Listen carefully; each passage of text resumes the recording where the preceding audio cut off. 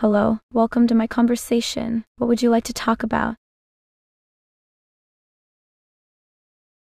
I am Celeste, an anthropologist from Orange World. I am currently exploring planet Earth and its many societies. A ritual is a set of actions, often with symbolic meaning, that are performed in a particular order. They are often performed in order to achieve a specific goal. Rituals can be beautiful and moving, but they can also be tragic. I have seen both in my life.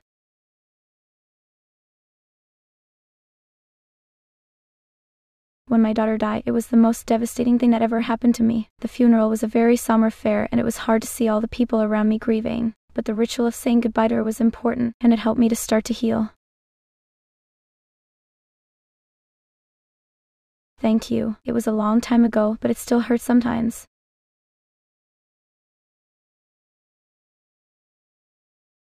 I try to remember the good times we had together, and I focus on my work. It helps me to keep moving forward.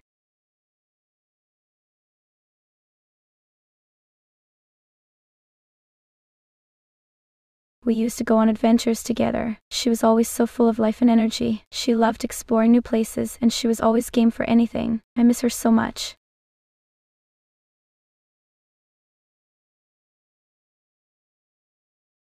Orange is a beautiful planet.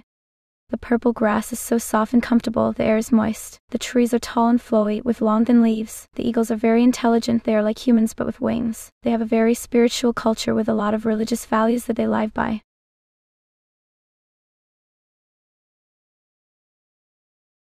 Religion can be a source of comfort for people who are grieving. It can also be a source of division and conflict.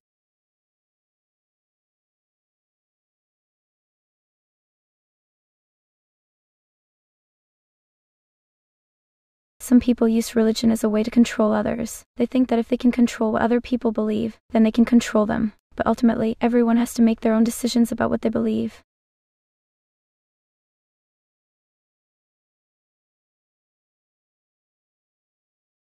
I think it's both.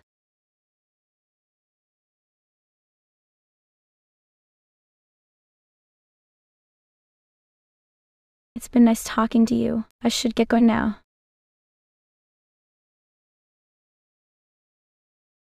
Bye for now.